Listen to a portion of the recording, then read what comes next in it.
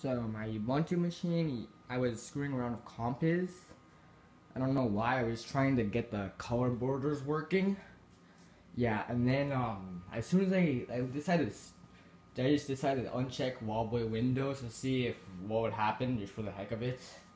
Then my desktop manager appeared frozen, so I turned off and turned on the computer, and the computer loaded the desktop and booted to a black screen. Auto login is turned on, so I'm not sure if it's actually logging in or not.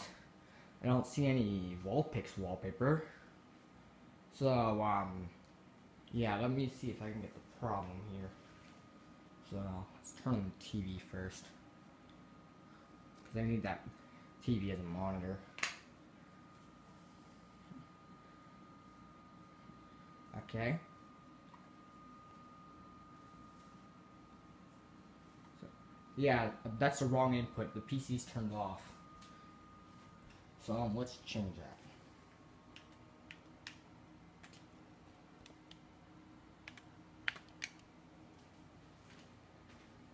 Okay. This is PC one. There we go. Let's turn it on. That keyboard lights up, so awesome. So let me show you how it starts up. Don't get my Pokemon Vulpix wallpaper or anything.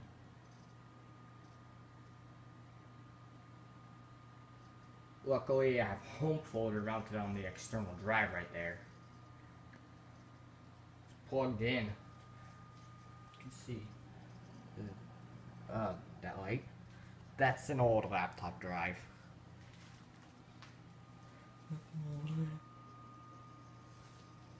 Make clear, external drive, laptop. Yeah, that's the computer. It says Lubuntu. That's because Lubuntu's packages were installed.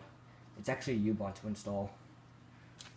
Like I did install on, on Ubuntu or something. Hmm.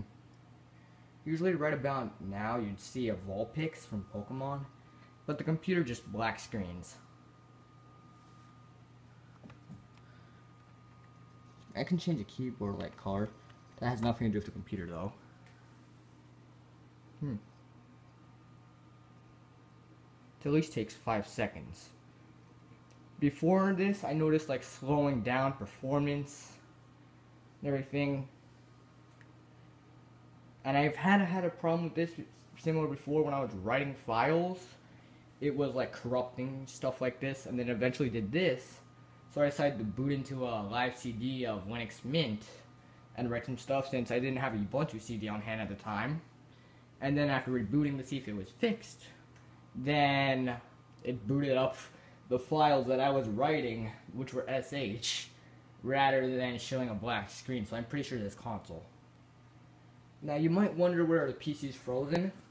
Let's find out. If I hit the, you can see that the computer right indicator just blinked. Um, yeah, too bad I didn't have it point camera. There we go. Okay. Let's turn it off.